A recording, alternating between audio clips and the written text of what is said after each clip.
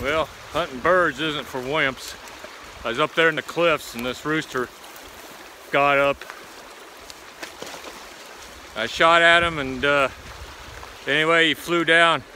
He he uh, fell in the right in Rock Creek here. So we had to scale back off the cliffs there, wade the creek.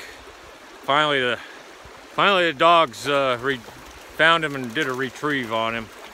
But uh, needless to say, I'm uh, I'm wet clear up to my waist now.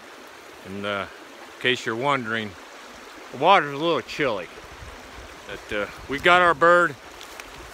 I think uh, I got about a mile hike on down the creek here to the truck and uh, we'll cook ourselves up some hot soup.